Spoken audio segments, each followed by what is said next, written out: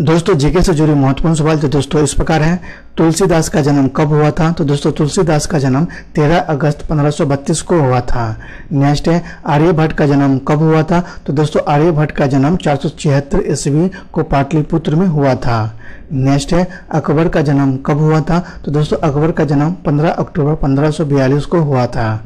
Next है, औरंगज़ेब का जन्म कब हुआ था? तो दोस्तों, औरंगज़ेब का जन्म 3 नवंबर 1618 को हुआ था। नेक्स्ट है, अशोक का जन्म कब हुआ था? तो दोस्तों, अशोक का जन्म पाटलिपुत्र में 304 ईस्वी पूर्व में माना जाता है।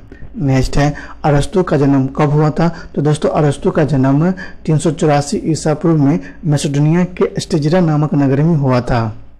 नेक्स्ट है, इंदिरा गांधी का जन्म कब हुआ था? तो दोस्तों, इंदिरा गांधी का जन्म 19 नवंबर 1917 को हुआ था। नेक्स्ट है इबन बतूता का जन्म कब हुआ था? तो दोस्तों इबन बतूता का जन्म 24 फरवरी 1304 को हुआ था। नेक्स्ट है, ईशान किशन का जन्म कब हुआ था? तो दोस्तों, ईशान किशन का जन्म 18 जुलाई उन्नीस को हुआ था। तो दोस्तों, आज के वीडियो में समाप्त कर लेते हैं। धन्यवाद।